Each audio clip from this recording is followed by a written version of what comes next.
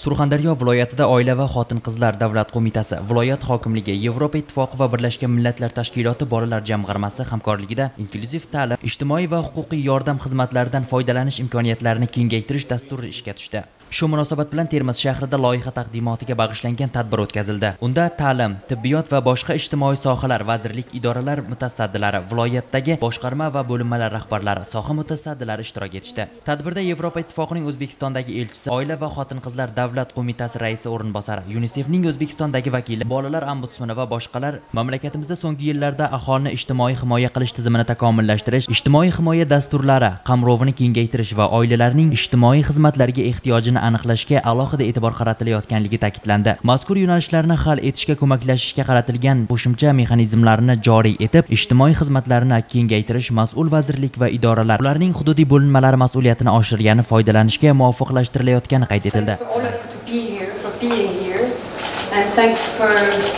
uh, a program which is the result of a great commitment. It's a great uh, launch of a project which is a great commitment from, fact, from the authorities in Sukhandaria, but definitely also from the authorities in Tashkent, in, from, coming from many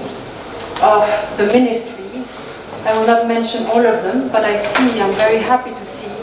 mahallada ijtimoiy xizmat moduli orqali ijtimoiy xizmatlar ko'rsatish tizimini joriy etish bo'yicha mahalla xotin qizlar faollari uchun o'quv seminarlari o'tkazildi. Bu ishlarni sifatli amalga oshirish uchun vohada 721 ta mahalla xotin qizlar faollari yunisefning o'zbekistondagi vakolatxonasi grant mablag'lari hisobidan zamonaviy planshet bilan ta'minlandi. Surxondaryoda bolalar yoshlar va oilalar uchun ko'rsatiladigan ijtimoiy xizmatlar loyihasi 18 oyga mo'ljallangan bo'lib uni amalga oshirish uchun yevropa ittifoqi 17 milliard so'm mablag' ajratgan. Yunisef ushbu dasturini ro'yobga chiqarish uchun tegishli vazirlik va mahalliy hokimiyat organlari hamkorligida 35 ming kishini qamrab olishni rejalashtirgan. Loyihada asosiy e'tibor zo'ravonlik migratsiya afg'onistondan ko'chishga majbur bo'lib qiyin hayotiy ahvoldagi bolalar yoshlar va oilalarga qaratiladi. Vohada inklyuziv ta'lim ijtimoiy va huquqiy yordam xizmatlaridan foydalanish imkoniyatlari kengaytiriladi. Mahallada ijtimoiy xizmat elektron modulini birinchi navbatda mana surxondaryo viloyatida bugungi kunda mahallalarda joriy qilinyapti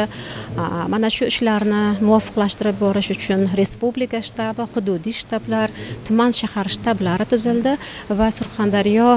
viloyati mahallalarida bugungi kunda xotin qizlar faollari tomonidan oilalarga kirib uyma uy yurish orqali ijtimoiy xizmatlarga bo'lgan ehtiyojni aniqlash va